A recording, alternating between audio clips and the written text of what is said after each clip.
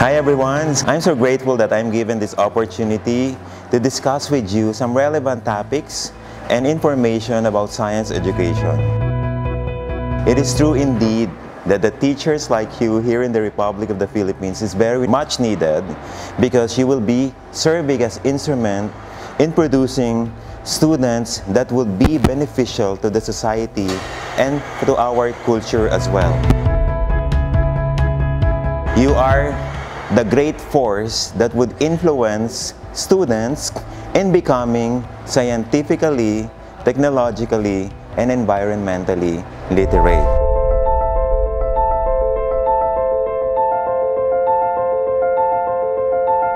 I am Miss Janelle P. Lobaton, a former grade school coordinator in Athens.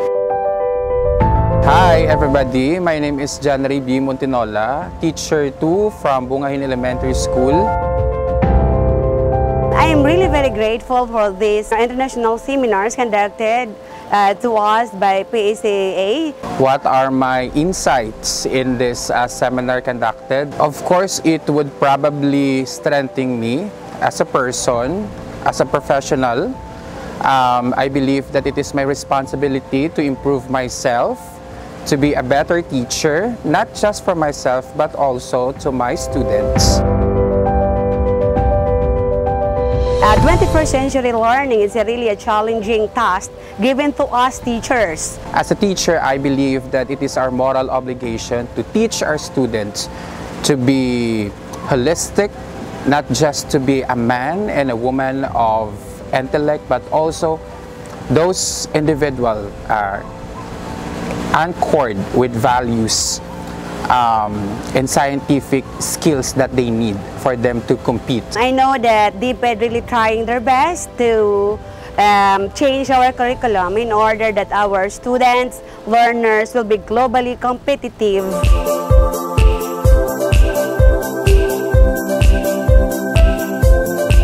I'm hoping that all the things that you have learned in this seminar, particularly all the pedagogies, the content from the from the curriculum and how you could be able to manage, manipulate, and make the curriculum relevant and responsive into the lives of the students, for sure that you would be able to have a great impact into their lives. I'm calling all the participants, my colleagues, science, even uh, different uh, subject teachers, that it is our time now to reach out our student because we Filipinos were ranked 7 out of the Asian nation and we know Filipinos are resilient and, and very creative and innovative.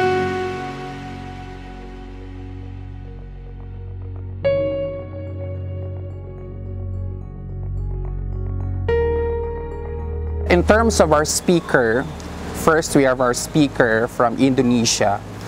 Um, I think she represented a well Southeast Asian culture of a typical Southeast Asian um, individual.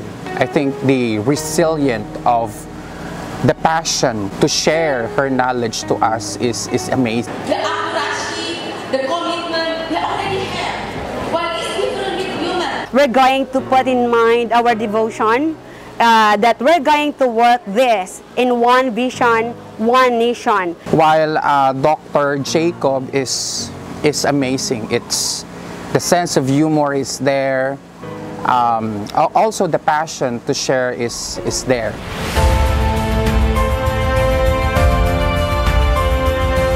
So please don't be afraid to explore some of the creative ideas that you could possibly use in responding to the needs of your learners. And we are hoping that you could be able to influence other teachers as well to become more efficient, more effective, and to really develop the skills necessary for our students to become globally competitive. And for the PACAE, thank you so much for the extend planning of your international um, seminars, especially in science. So again, I would like to, to thank PACAE in organizing these training workshops for our friends here in Bacolod area. And we're hoping that we could have more of this training again in this place and also in other parts of the Philippines so that all together we could be able to build a nation that with citizens that are relevant to the society.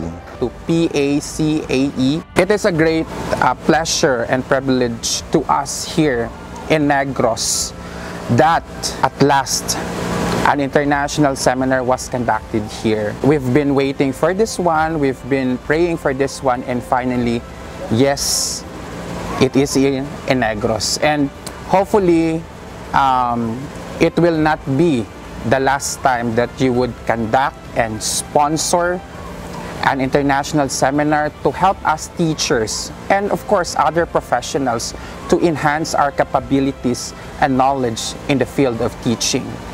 Madamoy nga salamat kag saliwat palangga kamo namon diri sa Negros.